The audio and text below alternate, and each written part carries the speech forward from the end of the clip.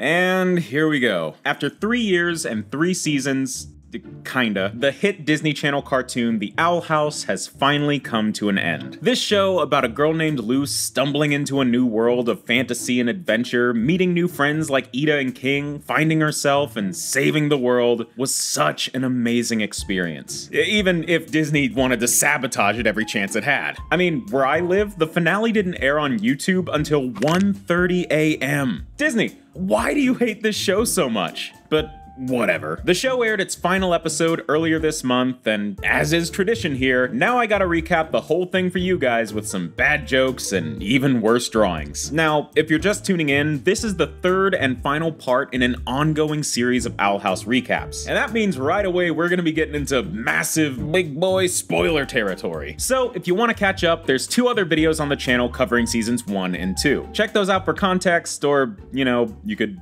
watch the actual show.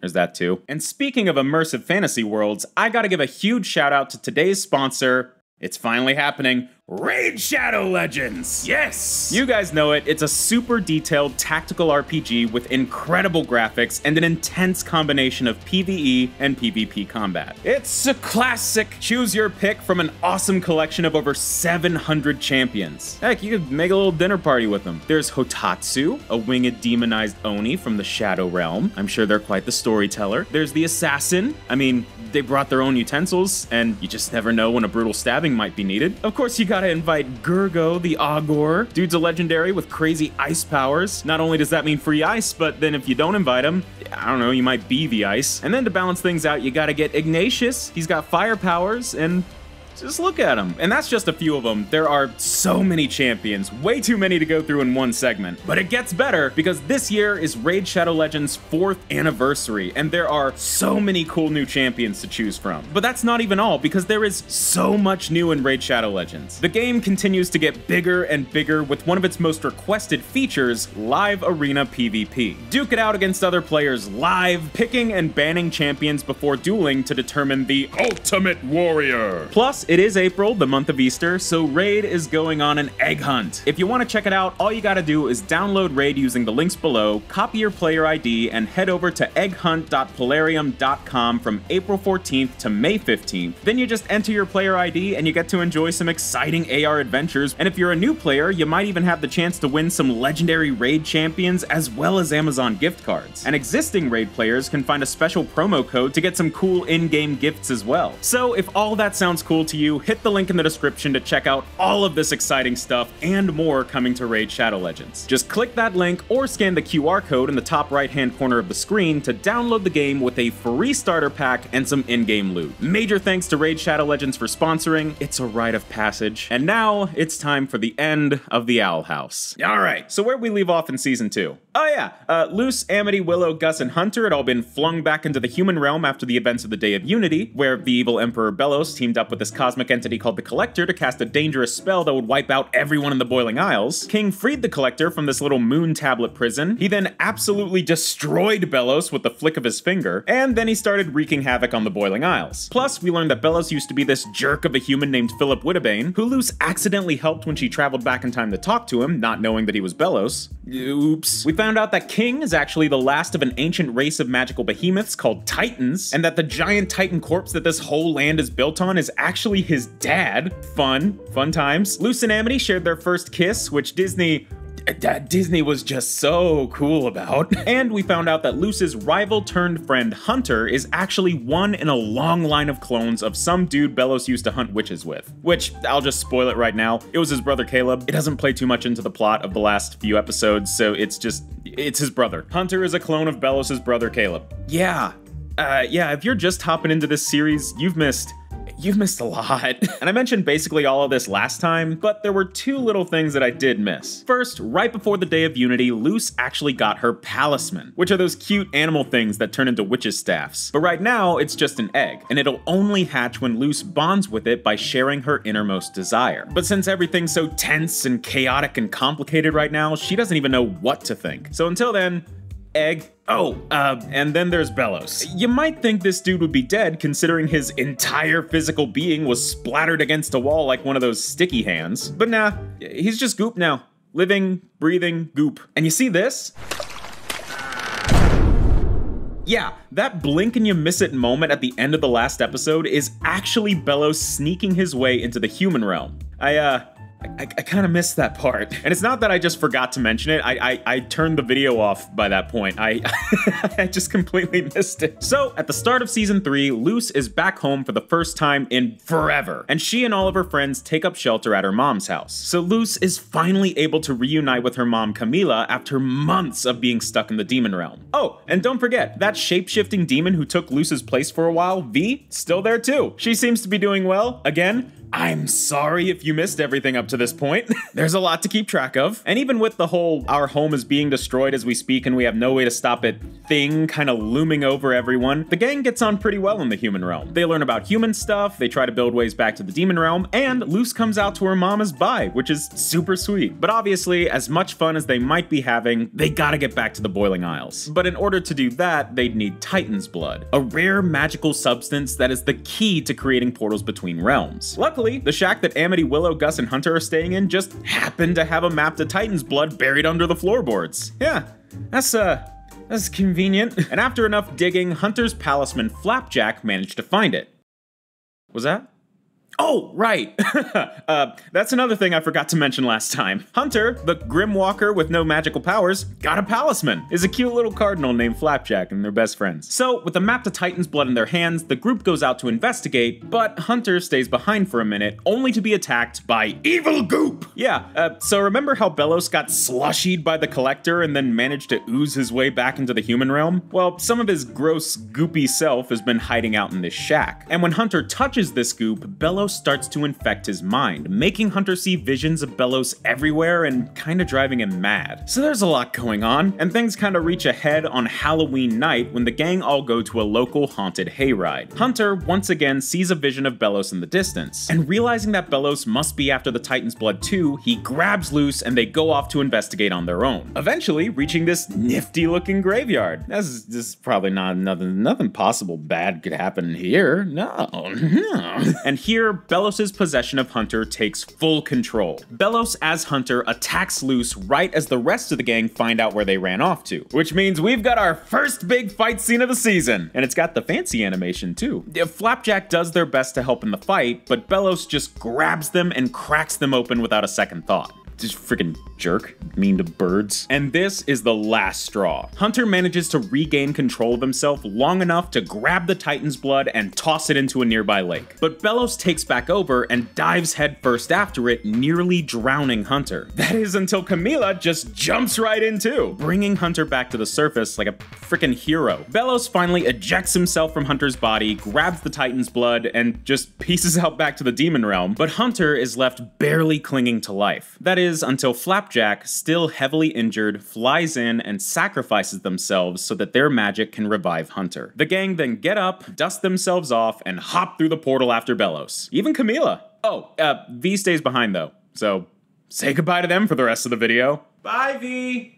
I like that you were voiced by Amethyst. So, while all this was going on, back in the Boiling Isles, the Collector is just messing the whole place up. He's like, this is fun. Let's play a game. And everyone else is like, ah! yeah, the Collector's been running around turning everyone into toy puppets to play games with, but keeps King around to be friends. Flash forward a bit to when Luz and the gang make it back to the Demon Realm, and Oh my god! Look at what the collector's done to this place. This is a dang Lisa Frank nightmare. Where's Dippy Fresh when you need him? Jeez. But either way, they push forward and eventually find their way to their old school Hexside where they meet a bunch of survivors and start to hatch a plan. They gotta get up there. That castle hovering above the Titan's head is called the Archives. The collector's castle where he's storing all the people he's turned into puppets. And up in the Archives, the collector just likes to hang out with King, who's trying desperately to rein in the collector's destructive tendencies. But while the collector isn't looking, King sneaks off to this secret lair deeper in the archives where we find Eda and Lilith. Both safe, sound, and not toys. The three of them are working to learn about the Collector and find a way to eventually stop him so things can go back to normal. But King wants to be careful. The Collector, as powerful as he is, is just a kid, and it doesn't seem like he has any family left. King knows what it's like to be the last of his kind. He understands the Collector and wants to help, but also knows that he has to be stopped. Meanwhile, back at Hexside, just a whole bunch bunch of crap's going down. Uh, breaking it down real quick. One, Luz uses memory magic to find this crazy glyph she once saw Belos use to travel directly to the Titan's head. That'll be useful. Two, Kikimora shows up. I, I can't remember if I've mentioned her, but she's crazy and starts attacking the gang. Three, after a series of unfortunate events involving Willow getting overwhelmed and losing control of her powers, Hunter somehow develops magic powers he never had before, using them to save his friends, and most importantly, four, while hiding from Kikimora, Luz and Camila finally have a heart-to-heart talk where Camila apologizes for trying to turn Luz into something she's not. And having finally realized that all she ever wanted was to be understood, Luz's Palisman egg finally begins to hatch. And just in time for the rest of the gang to catch up so they can all escape to the Titan's head. And that's the last we'll see of Kikimora. Say bye, everyone. Bye. I never really liked you. Once everyone's safe and sound at the Titan's head, Luz's Palisman fully hatches, revealing a worm on a string. Okay, no. Well, it kinda. This is Stringbean. They're a snake shifter, a weird little snake thing that can turn into whatever other creature they want. It's cute, and for a brief moment, everything seems okay. That is, until the Collector attacks. And wait, is that Rain? What are they doing with the Collector? Ah, right. Yeah, forgot about that. So, while all this was happening, Goopy Goop Belos needed a new body to inhabit, eventually finding his way into the archives and possessing Rain Whispers, former head of the Bard Coven, rebel against Belos, and Eda's old romantic partner. While possessing their body, Belos starts to manipulate the Collector, telling him he's in danger, that King is going to betray him, and that Luz is back to stop him. Which, to be fair, isn't entirely wrong, it's just a little exaggerated. So, right as Luz's Palisman hatches and everyone feels safe for a moment, we see the Collector and Belos spying on them. The Collector is now led to believe that everything Belos said was the truth, so when Belos tells the Collector to attack, he does. And with that, we're in finale territory. No going back now. And right at the start, things aren't going that great. The Collector turned Luz's friends into puppets and is using them to trap Luz, Eda, and King in waking nightmares. But when the Collector goofs up as Amity and says, I challenge you to a witch's battle, Luce is like, um, actually, it's witch's duel. and quickly catches on to what's happening. The absolute power of Luz's friggin' dorkiness momentarily breaks the illusion so her friends can tell her how to snap out of it. So, using her light glyphs, Luz is able to wake herself up and do the same for Eda and King. And for the first time this whole season, Luz, Eda, and King are all finally back together. The reunion is short though, as the Collector pops in to play some games with them. And by play games, I of course mean place their lives in mortal danger for his amusement. Yeah, the Collector doesn't really have a grasp on the whole concept of death and what that means to mortals. He kind of looks at everyone around him as well, toys. So we get another montage of Luz and the gang being put through the Collector's wacky games. Their lives are in danger. Man, a lot of montages this season, huh? It's almost as if they were planning to make a lot more episodes, but for some reason weren't allowed to and had to cram a whole season's worth of story into just three episodes. But what are the odds of that? Anyway, while all this was going on, Belos, still controlling Rain, flies off to their old castle with just just a real bad idea. So, remember how I said the Boiling Isles is built on the corpse of a giant dead titan? And remember how Belos' old throne room was built at the heart of the titan? And even though it was dead, the heart was still beating? And remember how Belos can now possess whatever or whoever he wants? Yeah, Nah, it's probably nothing. Let's check back in on Luz. After trying to play with Luz, Eda, and King for a while, and them very clearly not being into it, it being the imminent threat on their lives, the Collector gets sad and the gang is finally able to just sit down and talk to him. And here we get some long-awaited backstory on the Collector. Apparently, a...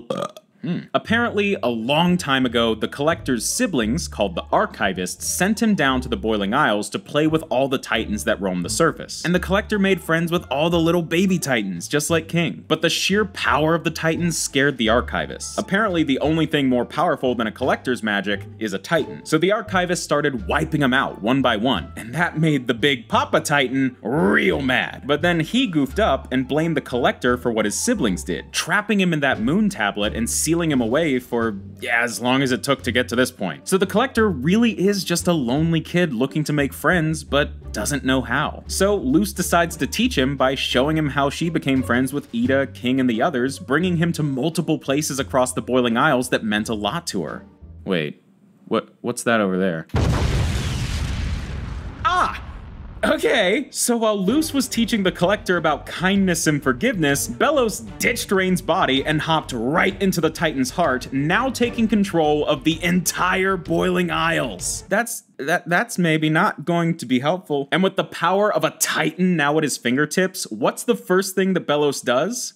Moss! Moss everywhere! Evil, death-bringing moss! Belos's moss spreads all across the Boiling Isles, consuming everything in its path, and soon forming a smaller, but still treacherously large Titan itself. This mossy Belos Titan just starts spitting blue all over the place, but the Collector, having processed what Luz taught him, decides to pull a Steven Universe and just tries to hug it out.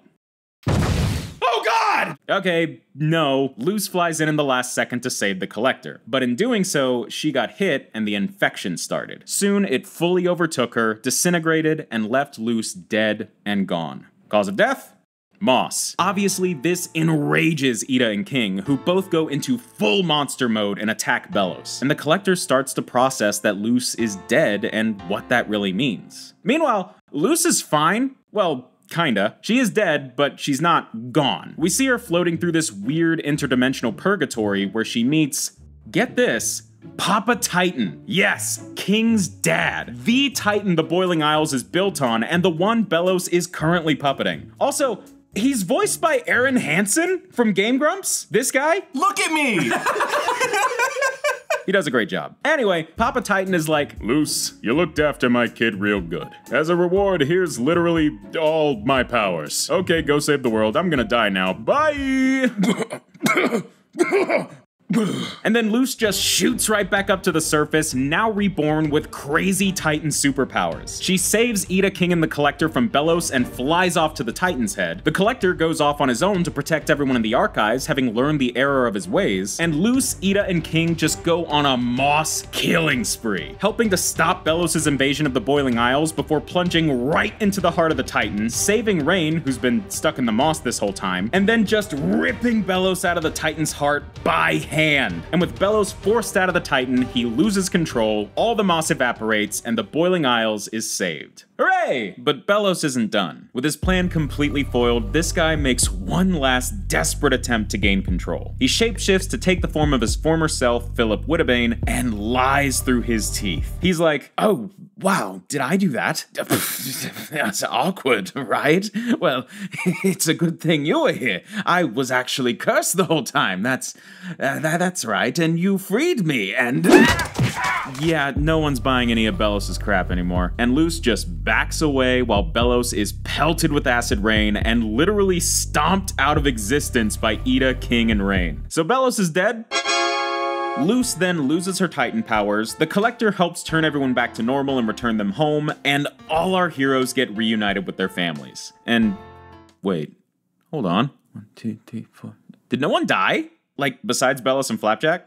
Yeah, Huh, would you look at that? Basically everyone survived. Well dang. The Collector, knowing how much growing up he still needs to do, flies off back to the cosmos. Luz gets reunited with their friends and family, Eda and King meet Camila for the first time, the gang get reunited with Hooty, who barely had a single line this whole season. Wow. And it seems like everything's back to normal. Fast forward a few years in a classic season finale time skip, and we see Luz in the human realm packing her things for college in the Boiling Isles. Yeah, take that, Amphibia, with your heartbreaking commentary on letting go and moving on. The Owl House actually lets Luz maintain a life in both the human realm and the Boiling Isles. I'm sorry, I didn't mean it. And as Luz packs her things, we get a beautiful end credit montage to see what everyone's up to now. Looks like Willow's become a Grudgby pro, which is like a wizard sport. I, I can't remember if I mentioned it before. Hunter's carving palisman now and even got himself a new bird. Funny internet videos. Amity is Eh, well, I'm not 100% sure what she's doing, but she looks like she's killing it. Speaking of which, Amity's dad has been working with Rain and the former Coven heads to develop a way to remove Coven sigils as the Boiling Isles ushers in a new era of like freedom and peace and whatever. And then there's the brand new University of Wild Magic, where Luz is about to attend. Gus is here teaching people about the human realm, which is really cute, and Eda is the headmaster. Yes, rebellious, school hating Eda is now the headmaster of a university. And King is taller. And everyone gets together to meet Luz and Camila as they make their way back to the Boiling Isles, and they all throw her a huge surprise party. Even the Collector shows up to throw a crazy cosmic fireworks show. Everyone then piles in for one last freeze frame to send things off, and that was the Owl House. And oh, wait, hold on. Yeah, there it is. Now the denial starts.